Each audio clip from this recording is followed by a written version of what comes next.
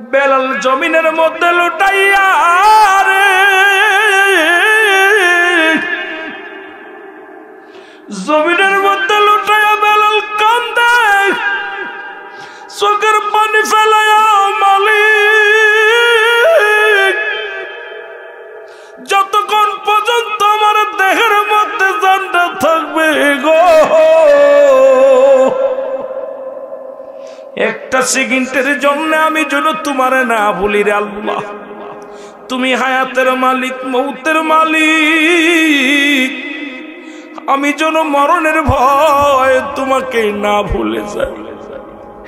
আমি যেন মরণের ভয় আপনাকে যেন ভুলে না যায় আপনার হাবিবকে যেন ভুলে না যায় বেলালের চোখ পায়া পানি পড়ে দিয়ে রক্ত জড়িয়ে বেলাল।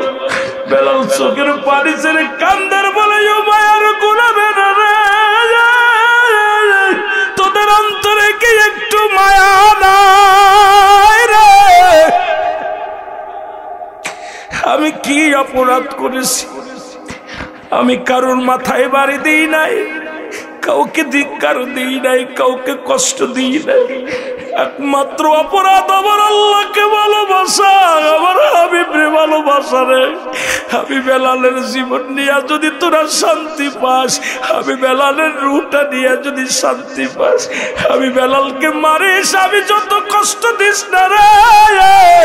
আমি বেলাল একটা মিনিটের মধ্যে একটা মিনিটের জন্য একটা সেকেন্ডের জন্য আমার মালিককে বলে থাকতে পারব না।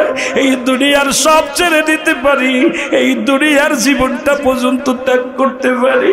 আমি বেলাল আমার জবান থেকে এই কালেমা সরাইতে পারবি না। আরে বক্কর বলে, বেলাল রে!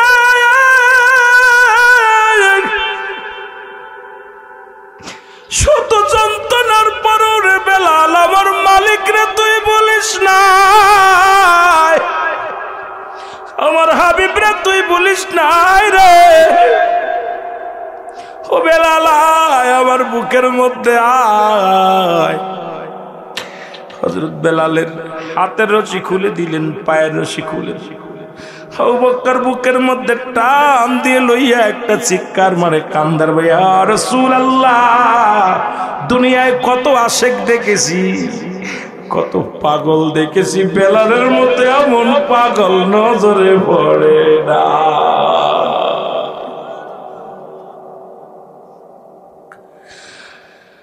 আমার ভাইরা, আমার বন্ধুরা, আমার গভীর মনোযোগ বেলালকে বুকের মধ্যে নিয়ে ঘাড়ে করে চলে গেলেন।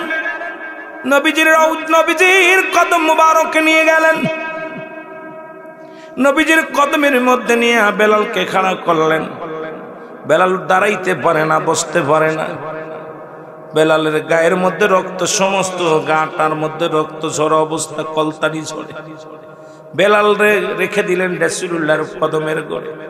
আমার নবী বলা উবাক্কারে কাকে আনছো? বলি, ইয়া রাসূলুল্লাহ, ইয়া হাবিবাল্লাহ, এমন একজন পাগল আনছি গো।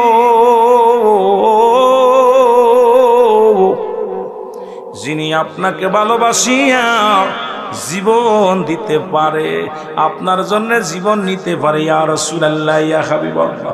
কিনা গোলাম হাফসি গোলাম বেলাল। উমায়ার গুলাম ছিল। কালেমা পড়ার অপরাধে বেলালের উপরে কত নির্মম নির্যাতন হয়েছে। বেলালকে আমি দেখে সহ্য করতে পারি না ওই ব্যবসার কিছু হাতে দিয়া বেলালকে আমি করাই করে আপনার কদমের মধ্যে আনছি। ইয়ার সুল ইয়া আল্লাহ আপনি আমার, আপনি আপনার বেলালকে একটু কদমের মধ্যে জায়গা করে দেন। জোরে জোরে চিল্লে বলা যাবে না আমার হাওয়া। বেলাল ডাকতে বলে উমায়া রে, তোমার মালিকও চিনি, আমার মালিকও তিনি। তোমার মালিক যে আল্লাহ, আমার মালিকও সে আল্লাহ। তাকে পাওয়ার একমাত্র মাধ্যম, ঠিকানা হলো নবী মোহাম্মদুর রাসূলুল্লাহ সাল্লাল্লাহু আলাইহি ওয়াসাল্লাম। জোরে জোরে চিল্লায় বলা যাবে না আমার হাওয়া। উমাইয়া, তোমার মালিক, আমার মালিক তুমি না, তোমার মালিক তুমি না।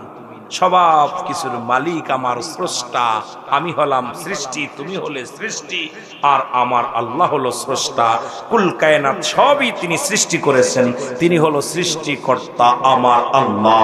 জোরে জোরে চিল্লায় বলা যাবে না মার হবা ওমায় কয় বেলাল কালেমা বলে না। প্রহরীকে ডাক দিলেন? কোথায় রে প্রহরিয়ায় বেলাল কাতে পায়ের মধ্যে রশি লাগায় দাও। বেলালের হাত বন্ধ পাও বন্ধ। যতক্ষণ পর্যন্ত বেলাল সে কালেমা না ছাড়বে, যতক্ষণ পর্যন্ত বেলাল আমাকে মালিক বলে স্বীকার না করবে। ওই যে আল্লাহরে দেখা যায় না, যে আল্লাহরে কোনোদিন দেখি নাই। যার অস্তিত্ব নাই, যার কোনো আকার নাই। সেই খোদাকে যতক্ষণ পর্যন্ত না ভুলবে, যতক্ষণ পর্যন্ত আমি উমায়াকে মালিক বলে, খোদা না বলে স্বীকার করবে, ততক্ষণ পর্যন্ত তোমরা বেতের আঘাত চালাইবা, সবুকের আঘাত চালাইবা। যতক্ষণ পর্যন্ত মৃত্যুবরণ না করে, ততক্ষণ পর্যন্ত তোমরা শুধু চাবুকের আঘাত করবা। যখন দেখবা তার জবান দিয়ে আমাকে স্বীকার করে নিছে প্রভু বলে, মালিক বলে, তখন তাকে মারা বন্ধ করে করে আমার কদমের মধ্যে আনবা। জোরে জোরে চিল্লায় বলা যাবে না, আল্লাহ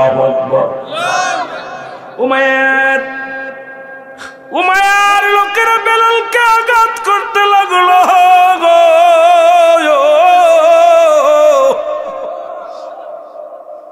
বেলালকে মারতে মারতে জমিনের ভিতরে বেশ করে ফেলে দিল। বেলালের জবান দিয়ে শুধু আহাদাত বাইর হয়। বেলাল অনুনয় বিনয় করে, ও মায়ের লোকেরা রে মানিস না। তোমার মালিক আল্লাহ, আমার মালিক আল্লাহ। তোমাদের কারুর মালিক মায়া হতে পারে না। এই আসমান জমিনের মালিক আমার আল্লাহ। তাকে পার একমাত্র ঠিকানা, তাকে পার একমাত্র মাধ্যম হলো আমার নবী। কিনার আমাকে মারতে মারতে যদি আমাকে চিরবিদায় করে দিস, তবু উমায়কে খোদা বলা সম্ভব নয়, কারণ আমার খোদা আমার আল্লাহ। জোরে চিল্লায় বলা যাবে আমার হাওয়া। এই কালে মারা মালাটা পড়ছি আমি। যত পারো যন্ত্রণা দেও গো তুমি, বলো যত পারো যন্ত্র আরও জোরে বলেন, কালে মার মালাটাও পড়ছি আমি। যত পারো যন্ত্রণা দাও গো তুমি, বলো যত পারো মানি না মানি না, হার যে মানি না মানি না মানি না, হার যে মানি না, হায়াত মৌতের মালিক তুমি। কালে মারা মালাটা পড়ছি আমি যত পারো জান। সবাই বলেন না, এই কালে মার মালাটা পড়ছি আমি যত পার যন্ত্রণা দাও তুমি বলো যত পার। এ রহি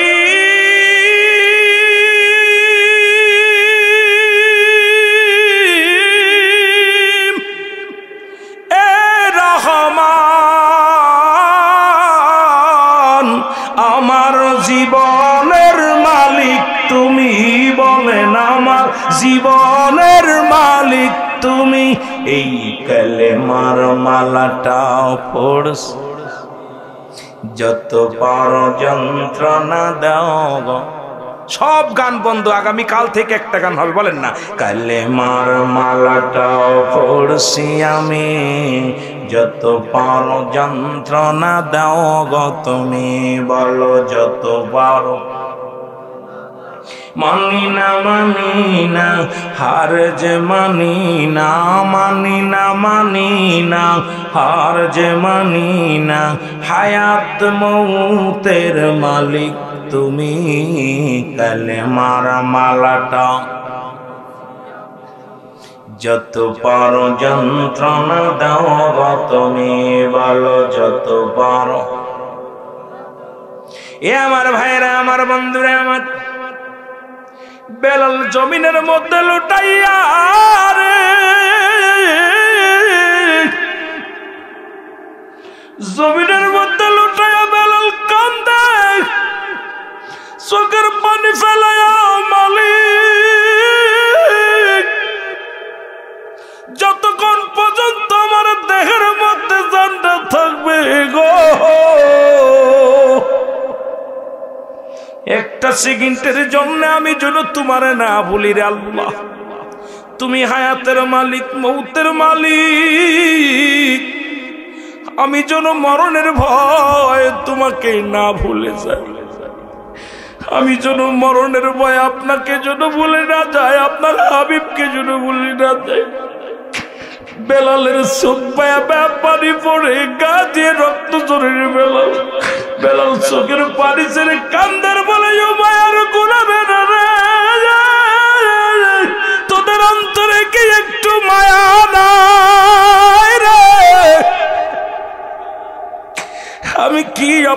করেছি। আমি কারোর মাথায় বাড়ি দিই নাই, কাউকে ধিক্কার দিই নাই, কাউকে কষ্ট দিই নাই। একমাত্র অপরাধ আমার আল্লাহকে ভালোবাসা, আমার আমি ভালোবাসা রে। আমি বেলালের জীবন নিয়ে যদি তোরা শান্তি পাস, আমি বেলালের রুটা নিয়ে যদি শান্তি পাস, আমি বেলালকে মারিস, আমি যত কষ্ট দিস না রে। আমি বেলাল একটা মিনিটের মধ্যে একটা মিনিটের জন্য একটা সেকেন্ডের জন্য আমার মালিককে বলে থাকতে পারব না। এই দুনিয়ার সব ছেড়ে দিতে পারি, এই দুনিয়ার জীবনটা পর্যন্ত ত্যাগ করতে পারি। আমি বেলাল আমার জবান থেকে এই কালেমা সরাইতে পারবি না। এ দুনিয়ার মুসলমান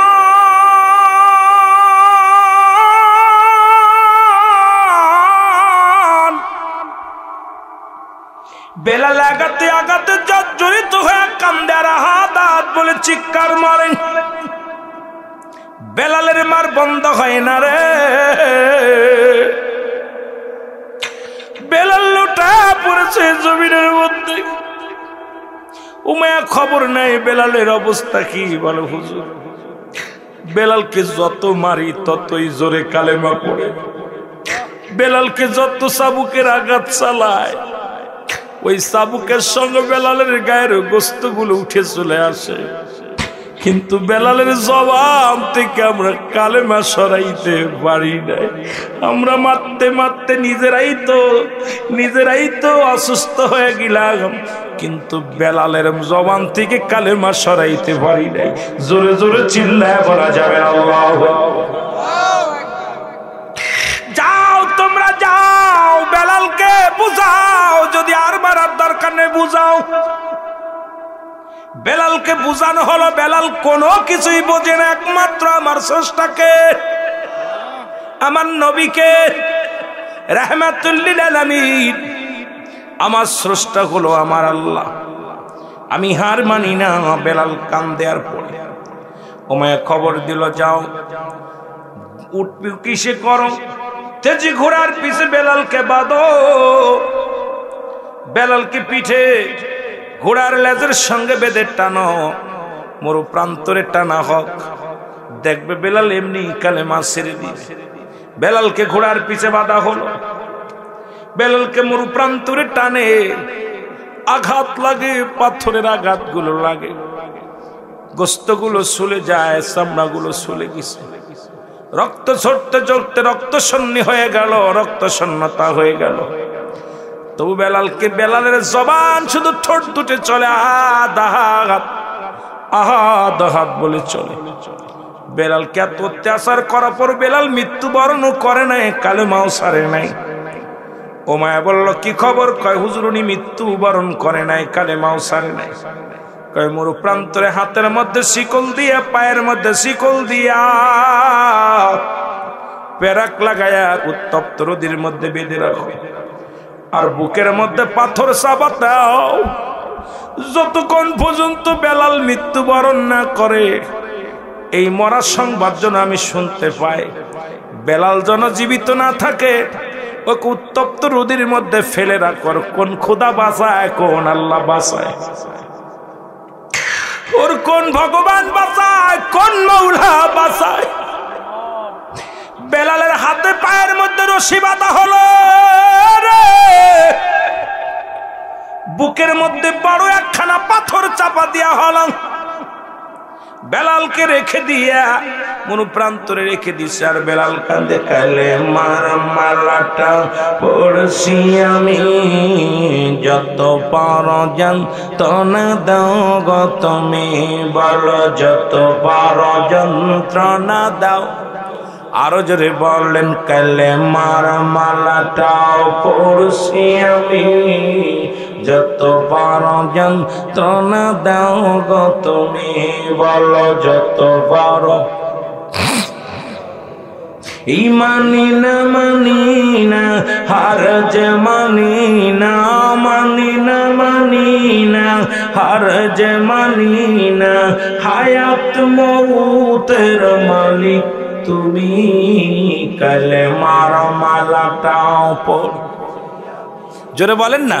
যত পার যন্ত্রণা দাও গো তুমি বলো, যত পার। এই কালে মার মালাটা পড়ছি আমি। যত পার যন্ত্রণা দাও গো তুমি বলো, যত পার যন্ত্র এ রহি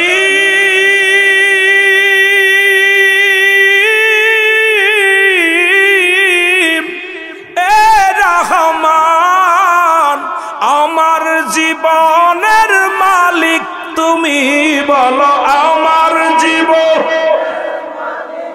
জোরে জোরে যুবকের, আমার জীবনের তুমি এই কালে মার মালাটা যত বড় যন্ত্রণা দাও গো তুমি বলো, যত বড় অসুখ যত ঝড় মানি না কুই আমি আর অসুখ যত ঝড় মানি না তুই আমি আর, আমার জীবনের মালিক তুমি, আমার জীবনের মালিক তুমি বলো কেলে মার মালাটা। যত পার যন্ত্রণা দাও গো তুমি বলো যত পার। খোদা।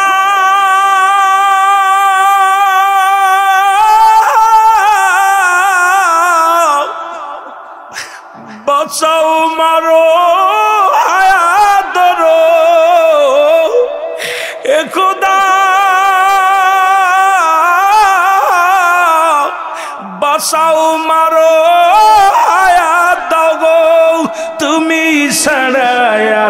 জানি না কিছু যে আমি।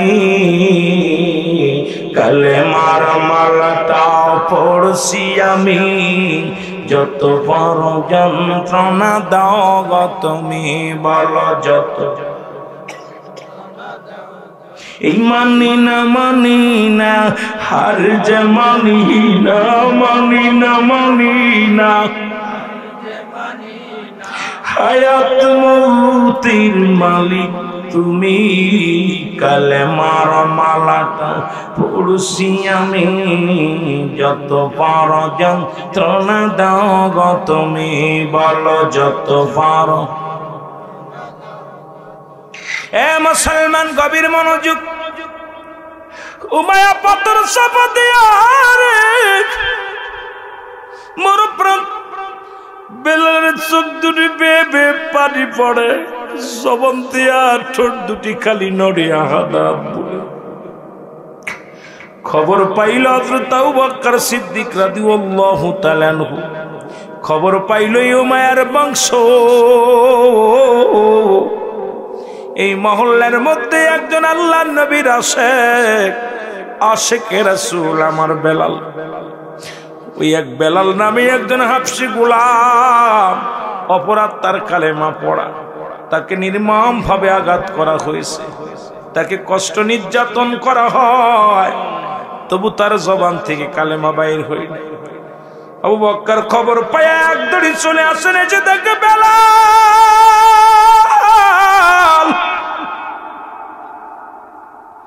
এই জমিনের মধ্যে পড়ে আছে রে।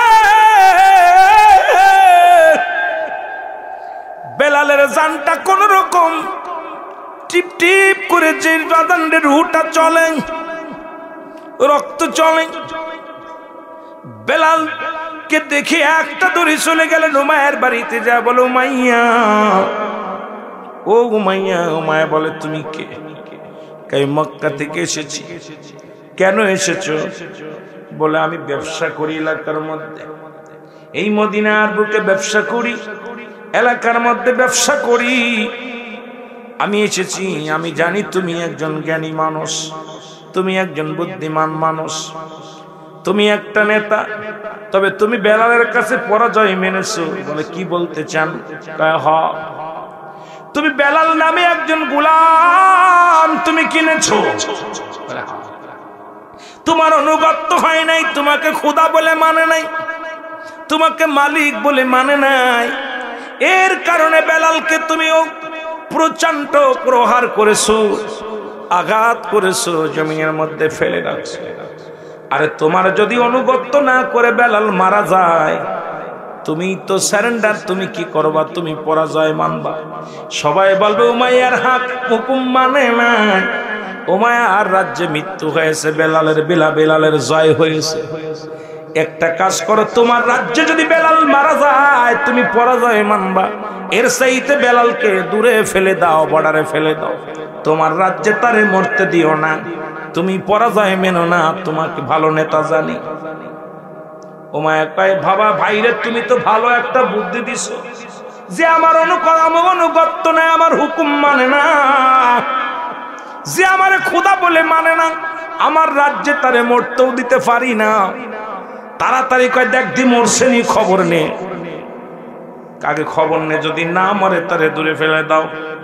হযরত আবু বকর বলে, হযরত আবু বকর সিদ্দিক রাদিয়াল্লাহু তাআলা আনহু বলে, ওমারে, আমি একটা, আমি দেশে যাব, ফিরে মন চায়।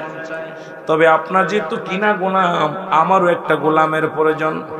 যেহেতু আপনার অনুগত্য নয় আপনি কিছু হাদিয়া নেন যাতে কিনেছেন, এই হাদিয়াটা আপনি লন।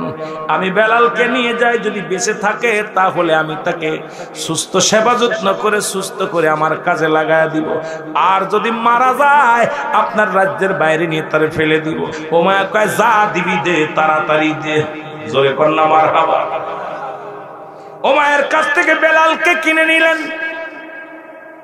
এ মুসলমান ওমায়ের কাছ থেকে কিনে নিয়ে বেলাল বেলালের কাছে দৌড়ায়া গেলেন হযরত আবু বকর সিদ্দিক। যা বুকের উপর থেকে পাথর খানা সরায়া দিছে, দৌড়াই যায়া যখন পাথরটাও বুকের থেকে সরাইছে, বেলাল আওয়াজ দে বলে, মোহাম্মদুর রাসূলুল্লাহ। জোরে জোরে চিল্লায় বললে, সাল্লাল্লাহু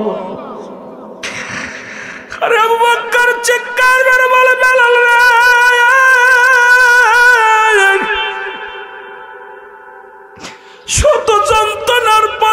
বেলাল আমার মালিক রে, তুই বলিস না আমার হাবিব রে, তুই বলিস নাই রে।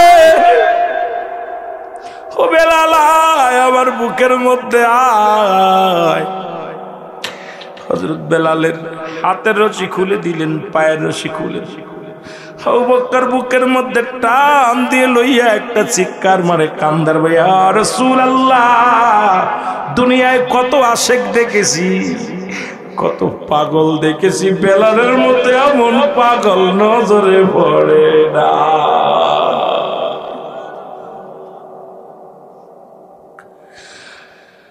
আমার ভাইরা আমার বন্ধুরা আমার গভীর মনোযোগ বেলালকে বুকের মধ্যে নিয়ে ঘাড়ে করে চলে গেলেন। নবীজির নবীজির কদম মুবারকে নিয়ে গেলেন। নবীজির কদমের মধ্যে নিয়ে বেলালকে খাড়া করলেন। বেলাল দাঁড়াইতে পারে না, বসতে পারে না। বেলালের গায়ের মধ্যে রক্ত, সমস্ত গাটার মধ্যে রক্ত ঝরা অবস্থা কলতারি ঝরে। বেলাল রে রেখে দিলেন রাসূলুল্লাহর কদমের গড়ে।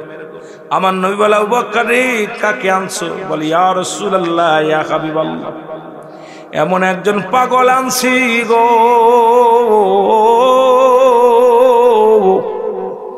যিনি আপনাকে ভালোবাসিয়া জীবন দিতে পারে, আপনার জন্য জীবন নিতে পারে, ইয়া রাসূলুল্লাহ, ইয়া হাবিবাল্লাহ। কিনা গোলাম হাফসি গোলাম বেলাল। উমায়ার গুলাম ছিল। কালেমা পড়ার অপরাধে বেলালের উপরে কত নির্মম নির্যাতন হয়েছে।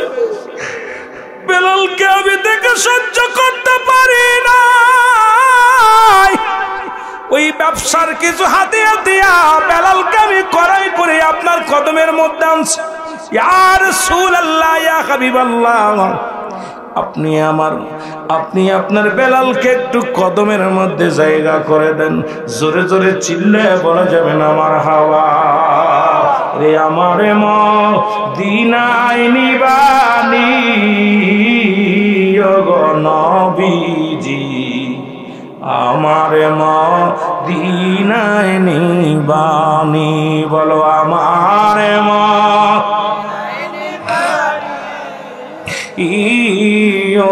নবীজি আমার ম ও নবী, ও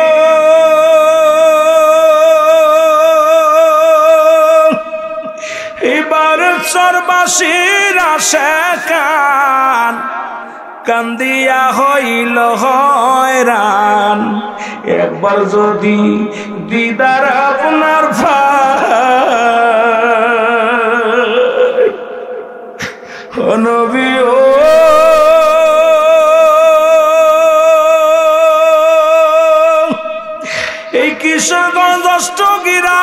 রামের আসে খান আপনার প্রেমেতে হয়রান, একবার কি দিদার ভাবনি?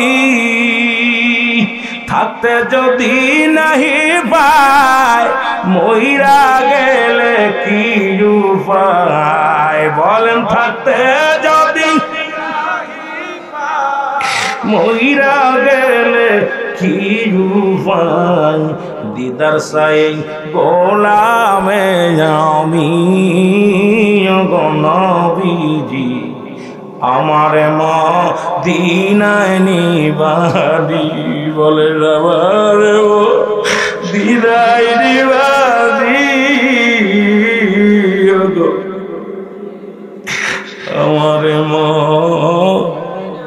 যারা মদিনায় যেতে চান বলেন আমার মদিনায় নিবা নবীজি। আমার মদিনায় নবী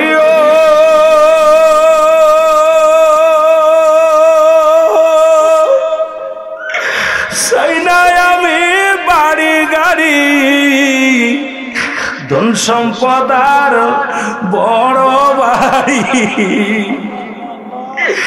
একবার চাই আপনার শরণ খানি। গোলামের বেদনা একবার লইয়া যান মদিনা।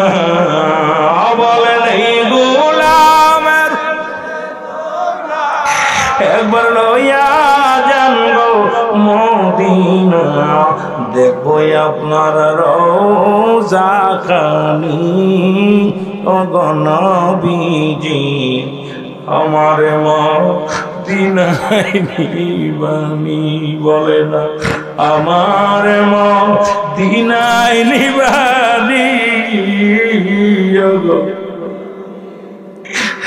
আমার মা কত কাফের দেখল মরে। পাইলাম না দিদারে আসে কত দুষ্ট কাফের দেখল আপনারে। পাইলাম না আসে একটি বার। দিদার সাইগ দয়াল বিহামি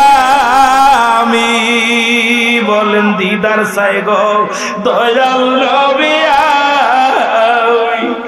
গোলামের বেদনা একবার লইয়া যান গো মদিনা। বলেন এই গোলামের একবার লইয়া যান গো মদিনা। দেখব আপনার নূরের রোজা খানি। অগণবিজি আমার মদিনা। আমার মদিনায় অগো নবীজি আমার মদিনায় আমার নিবানি। অগো আমার দিনাই আল্লাহ নবী ডাকতে বলে বেলা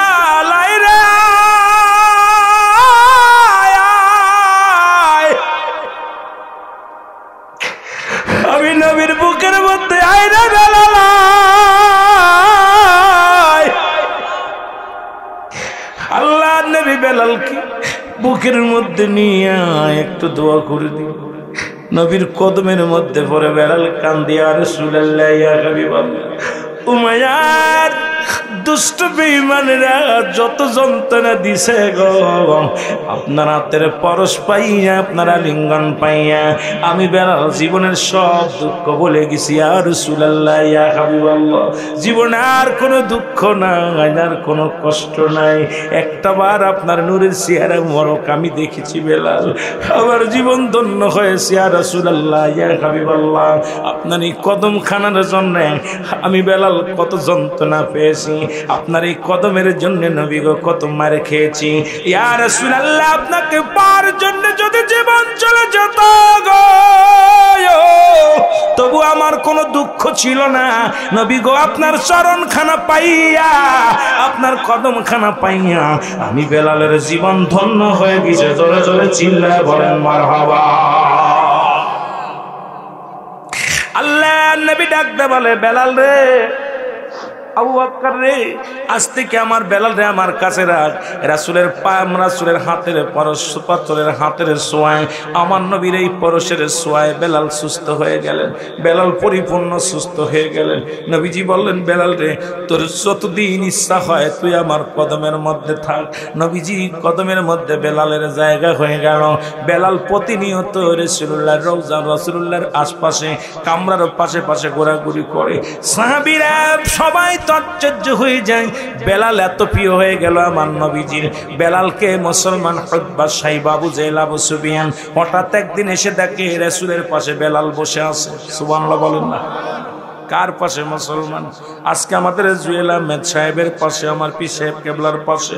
আমি বসে আছি, লোকজন কয়, হুজুর, আর মৌলানা রুহুল আমিনার পি সাহেব হুজুর এক জায়গায়, ইমাম সাহেব হুজুর এক জায়গায় বসে আছে। এখন মুসলমান, শুনে নাও, এরে হুদ্বা সাহেব বাবু জেল এসে ডাকে রে, আল্লাহ নবীর পাশে বেলাল বসে আছে। হুদ্বা সেই বাবু জেল বলে, এ মোহাম্মদ সাল্লাল্লাহু আমাদের তো মন চায় আপনার সাথে দুইটা কথা বলতে, আমাদের তো মন চায় আপনার সঙ্গে দেখা সাক্ষাৎ করতে। কিন্তু আইসা দেখলাম আমাদের মতো নেতা, আমাদের মতো বড় বড় নেতারা আপনার কাছে বসবে। অথচ আপনি বলে নবী, আপনার পাশে যদি বেলালের মতো নিগ্রহ হাফসি গোলাম থাকে, হাফসি গোলাম যদি আপনার কদমের পাশে থাকে, আমাদের মানায় না, আমাদের ইজ্জত থাকে না। সুতরাং আপনার বেলাল যদি যে কদমের মধ্যে জায়গা হয়, সেই জায়গা আমরা এত বড় বড় নয়, তারা কেমনে বইব? জোরে জোরে চিল্লা বলা যাবে না, আল্লাহ নবীকে ডাকতে বলতেছে মোহাম্মদ। আমাদের তো মন চায় আপনার কদমে আসতে, কিন্তু বেলালের মতো হাফসি গুলাম যদি আপনার কদমের মধ্যে থাকে, আমরা বড় লোক মানুষ, দামি মানুষ মানাই নাকি এক জায়গায়? মালিক আর কর্মচারী এক জায়গায় মানায় আমার নবী ডাকতে বলে কি বলতে চাও তুমি বলে, হুজুর। বেলাল যদি আপনার কদমের মধ্যে না থাকে, তাহলে আপনার কাছে আমরা বায়াত গ্রহণ করব, আপনার কাছে আমরা আসব। আল্লাহ আরও জোরে। আল্লাহ নবী ডাকতে বলে বেলাল।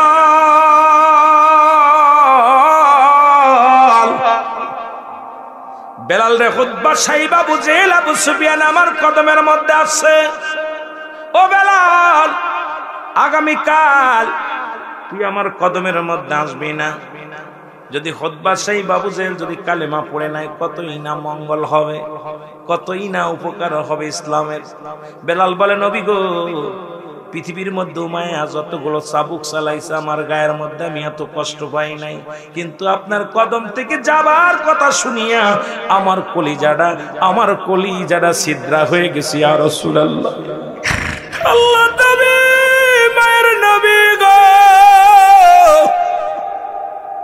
আমি বেলাল আপনার কদম ছেড়ে একটা মিনিটের জন্য গেলে আমি বাঁচবো না আর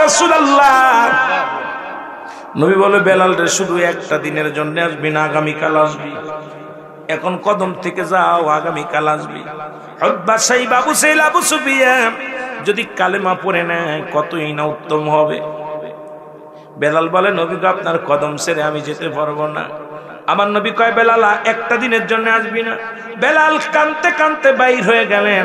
ডাকতে বলে, আমার আল্লাহ, যদি মানুষের হাতে হায়াত থাকতো, পৃথিবীর কোন মানুষ আমারে হায়াত দিত না, আমি হাফসি গুলো আল্লাহ, মানুষের হাতে যদি হায়াত থাকতো এই দুনিয়া আমি আমার মতো নিগ্রহ হাফসি গোলাম রে কেউ হায়াত দিত না। আল্লাহ, মানুষের হাতে যদি ইমান থাকতো, আমি বেলাল রে কেউ ইমান দিত না। আল্লাহ, তোমার কাছে ইমান থাকার কারণে আমি বেলাল ইমান পেয়েছি রে আল্লাহ। তোমার কাছে হায়াত থাকার কারণে আমি হায়াত পেয়েছি। আজকে গরিব হওয়ার কারণে আমার রসুলের কদমে জায়গা হয় না রে। আমি যে নবীর কদম সারা বাঁচতে পারি না গো। আমি যে আমার নবীর কদম সারা একটা মিনিট বাঁচতে পারব না। কানতে কানতে বলে, আমার আল্লাহ, তুমি আমার নিয়ে যাও। আমি রাসুল্লাহর কদম সারা বাঁচতে পারি না রে আল্লাহ। রাসুলের কদম ছাড়া আমি কেমনে সময় কাটাবো? আমি কেমনে আল্লাহ গো আমি বাঁচবো? আমারে তুমি নিয়ে যাও। আমার আল্লাহ ডাকতে বলে, আমার নবীরে ডাকতে বলে, জিবরিল আমিন, তোরে আমার হাবিবরে জানা দাও। আমার হব্বা লাগবে না, সাইবা লাগবে না, আবু জেহেল, আবু সুফিয়ান লাগবে না। আমি আমার বেলালের চোখের পানি সইতে পারি না। আমার বেলালকে যেন রাসুলের কদমের মধ্যে ডাকতে নেয়। আমার বেলালের চোখের পানি জমিনের মধ্যে পড়ে আমি মৌলা সহ্য করতে পারি না। আমার হাবিবকে ডাকতে বলো। আমার হাবিব যেন বেলালকে ডাক দেবো কেনাই জোরে জোরে বলেন মার হাবা এরে নবীজির প্রেমের কথা বলব রে কারে? বলেন, নবীজির শানের কথা। আরও জোরে বলেন, নবীজির প্রেমের কথা বল। কি বলিব মহিমা?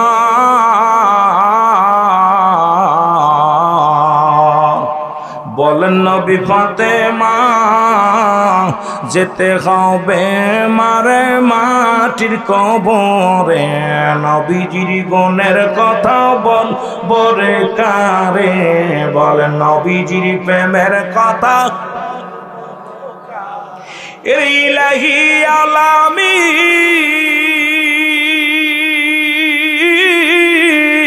নবীর উম্মতের যাবিন তরবে বেদাল নবী, তুমায় বিফাদে নবীজির গুণের কথা বল, বরে কারে বল। নবীজির শানের কথা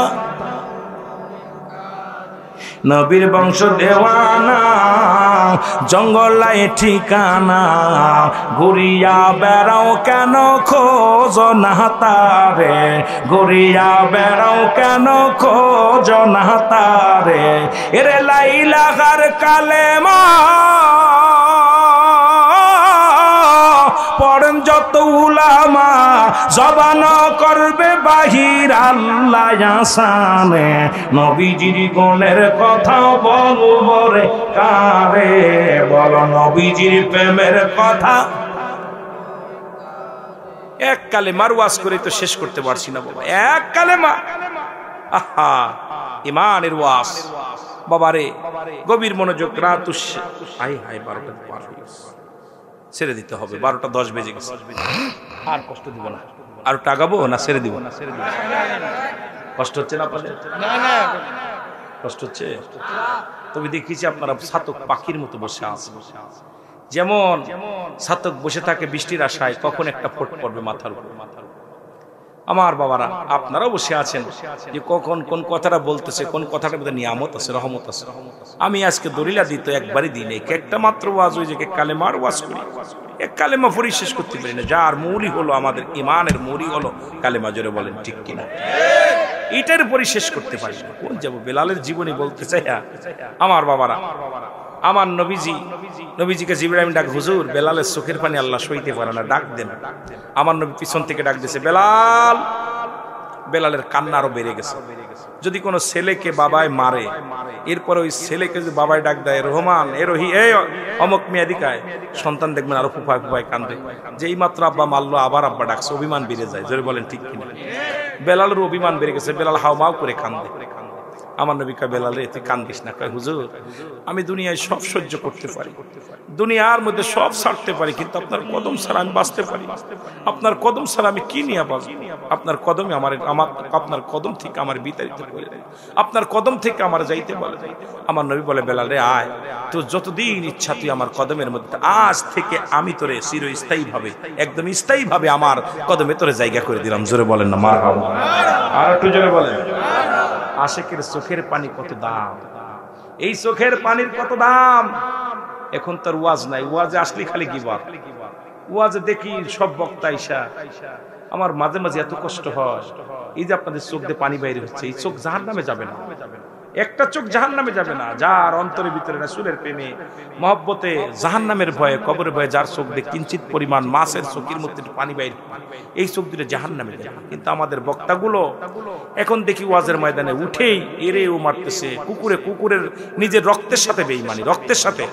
দেখা যায় সুন্নিরা সুন্নিদের কামড় দিচ্ছে ওহাবিরা ওহাবিদের কামড় দিচ্ছে। বড় কষ্ট হলো। এখন সুন্নিদের যে অবস্থা দেখতেছি, এই সুন্নিদের আদর্শ আমি মানতে পারতেছি আর মানতে পারতেছি না। কারণ এই কষ্ট আমার ভিতরে যন্ত্রণা, অনেক যন্ত্রণা দিতেছে। মনে হচ্ছে ওয়াজের ময়দান ছেড়ে দিই। যেভাবে শুরু করছে, একটা আলেম আর একটা আলেম, এক সুন্নি ভাই আর এক সুন্নি ভাইয়ের বিরোধিতা। এটা আসলে আদর্শ না। এক মুসলমান আর এক মুসলমান দোষ দুটি ঢেকে রাখলে আল্লাহ তার দোষ ঢেকে রাখবে। যেটা বলেন, ঠিক কি আর আমরা সুন্নিরা হয়ে এই গিবাত খোর বক্তাদেরকে আমরা আনতেছি আর গিবাত খোরদের গিবাত খোর গতকালকে আমার অনেকগুলো প্রশ্ন দিছে। আমি একটা উত্তর দিনে ভাই, যেগুলো দিছে এত কষ্ট লাগছে। আমাকে ভাই জান, আমি এগুলো জানি না। কিন্তু সবগুলোই জানি। কিন্তু আমি নিজেই কে? কার বিরুদ্ধে কথা বলব? কার বিপক্ষে কথা বলব? কোথায় যাব? আজকে এক ভাই হয়ে আর এক ভাইয়ের। আমার ভুল থাকতে পারে, আপনি শুধরাই দেন। বিশ্বাস বুঝুর আমার বললেন, ভাই, আপনি এই কাজটা করলেন। এইটাই করলে ভালো হয়। উনি যদি এখন এই ফেসবুকের মধ্যে, এই যে মিডিয়ার মধ্যে এসে যখনই আপনি আমার নামটা বলবেন এমনি মুসলমান আমাদের সুনিয়াতের যে শত্রু যেভাবে বাড়ছে, আর আমরা যে কয়েকটা আলেম, বেশি সব আলেম না বাংলাদেশে কয়েকটা হাতে গোনা কয়েকটা আলেম যারা অতিরঞ্জিত করতেছে, অতিরঞ্জিত যা মেনে নেওয়া যায় না সমাজের আপনারা কেমনে মানেন জানি না। আমি মাঝে মাঝে খুব কষ্ট পাই। খুব কষ্ট পাই যে কোথায় কার টাকা চুরি করছে। কোথায় বড় কষ্ট ওখানে যে কার টাকা চুরি করছে। কোথায় এইগুলো কি ফেসবুকে দেওয়ার আছে? কোথায় কারে খাওয়াইছিল? কোথায় কয় বাস্তা চাল দিছিল? এইগুলো যদি আমরা আলেম হয়ে যদি ফেসবুকে দিই আজকে আমি একটু লাইফে এসে একটা কথা বললাম। বড় কষ্ট পেলাম তো এই জন্য বলেছি। যে কোথায় কোন বক্তারে কিটা সাহায্য করেছিল কিটা কোন মামলার সময় কিটা লড়েছিল, কিডা কয় টাকা চুরি করছিল, কুডা তেরানের টাকা চুরি করছে এইগুলো যখন শুনি, ভাই, অন্তরটা কাঁদে। জিরাকে আলেম। এটা ছোট মানুষের মতো, ছোট মানুষ। একটা শিক্ষিত আলেম তো আপনি, আলেম মানেই জ্ঞানী। আলেম মানে কি? জ্ঞানী মানুষ যখনই মিডিয়াতে এসে এই সমস্ত কথা বলে। অমুক ভুল বলতেছে, অনেক এরা করতেছে, তখনই অন্তর্ভিত জ্বালা ধরে যায়। ভাই, তুমি এত বড় জান্যওয়ালা বন্যওয়ালা আল্লাহ তোমাকে বানাইছে, আলহামদুলিল্লাহ। কিন্তু তাই বলে তুমি আর এক ভাইয়ের দোষটি গোপন না রেখে প্রকাশ করে দিতেছ সমাজের মধ্যে। তোমার, এতে কি ক্ষতি হচ্ছে জানো তুমি? যখন তুমি পর নিন্দা করো, আমি একটা হাদিস নিজে পড়েছি। আমার দুই সাহাবি, একটা ঘটনা আমি একদম সুন্দর একটা ঘটনা, দুই সাহাবির ভিতর ঝগড়া পাচ্ছে এক সাহাবি গালি দিতেছে আর এক সাহাবি শুনতেছে। নবীজি মিসমিস করে হাসতেছে। নবী যখন ওই সাহাবি যখনই প্রতিবাদ করছে তখনই দেখলাম নবীজির মুখটা বেজার। তখন বলতো, হুজুর, আমাকেও গালি দিচ্ছে। আপনি তখন হাসতেছিলেন। আর আমি যে উত্তর দিলাম, আপনি এখন মুখটা বেজান সাহাবির, আমি দেখলাম, তোমাকে যখন গালি দিতেছিল ওর আমল নামা থেকে তোমার সবগুলো কেটে কেটে তোমার আমল নামে আসতেছে। এটা দেখে আমি খুব আনন্দিত হচ্ছিলাম যে এত কষ্ট করে আবাদত বন্দিগি করেছে? আর তোমার আমল নামা থেকে, ওর আমল নামা থেকে কেটে কেটে তোমার কাছে চলে আসতেছে। যখনই তুমি উত্তর দিছো, দেখলাম তোমার থেকেও কেটে যাচ্ছে। এটা দেখে আমি কষ্ট হয়েছে। তা আমার বাবারা, আজকে আপনি গিবাদ করতেছেন। গিবাদ করতে একদম আপনার জানেন যে হিংস এক নাম্বার। এই যে হিংসা মানুষের দোয়া আল্লাহ কবুল করেন। এই যে সবে কদর গেল, সবে বরাত গেল। এই ভাগ্যরজনিত এই সাবান মাসেও দুই শ্রেণি মানুষের দোয়া কবুল হয় না। এক নাম্বার হলো হিংসা মানুষ, হিংসু। আর একটা হলো আপনার হলো আর শরিক, আল্লাহর সঙ্গে শরিক করা। আল্লাহর সঙ্গে শরিক করে। দুই মানুষের দোয়া আল্লাহ কবুল করা তা আপনি এত জানেন, আপনি এত হিংসা থাকে কেন? পেট ভরা হিংসা নিয়ে খোদার দিদার করা সম্ভব না। ওই কালী মাখা আয়না দিয়ে মুখ দেখা যায় না, হৃদয় ভরা ময়লা নিয়ে আল্লাহ দিদার হয় না। জোরে বলেন, ঠিক কিনা? ময়লা পরিত্যাগ করেন। আমি অনুরোধ করি আপনাদেরকে, আপনি, আমি যারাই আছি, সবাই যেন ভিতরটা পরিষ্কার করি। আমি আর আপনার মুখের দিক তাকাইলে আপনাকেই, আমাকেই দেখেন। আমি যখন পিসাব কাবলার মুখের দিক তাকাবো, আমাকেই দেখব। উনি আমার মুখের দিক তাকাবে, আমাকে দেখবে। তাহলে তার ফেতনা থাকে না। ভুলের উদ্দে কেউ নাই। জোরে বলেন, ঠিক কি না? ভুলের উদ্দে কেউ আছে? তা আজকে কষ্ট পেলাম, আজ দুদিন দেখতেছি।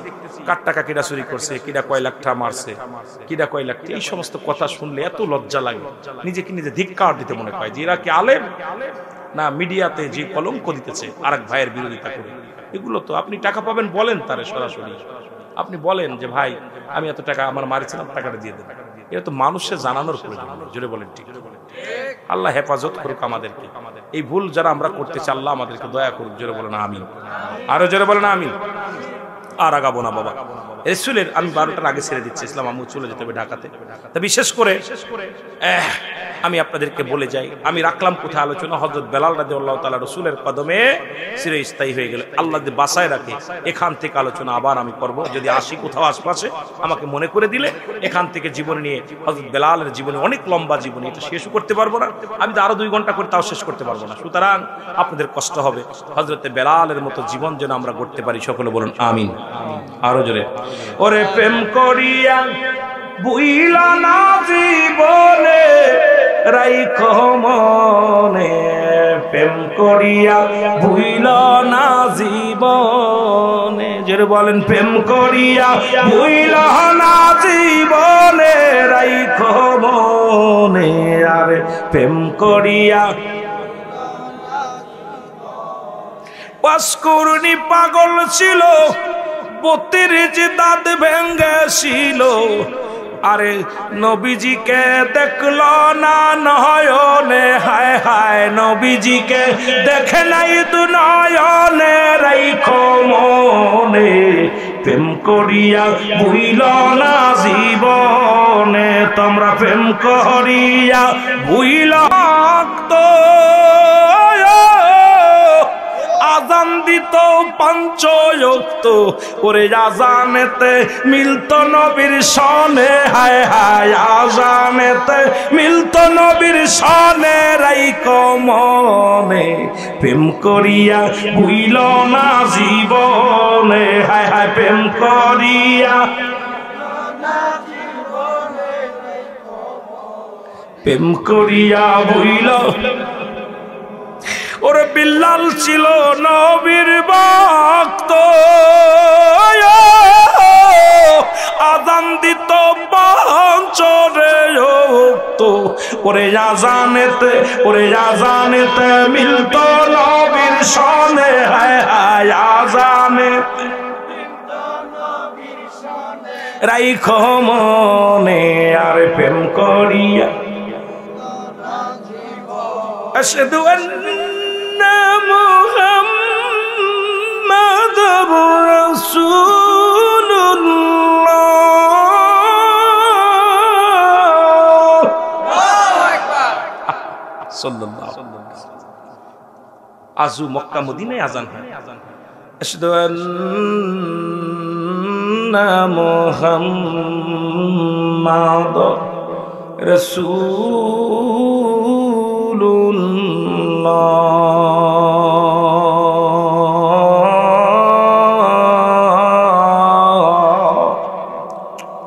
বেলাল ঠিক এই কলিটা বলেই জমিনের ভিতরে বেউসে পড়ে গেছে।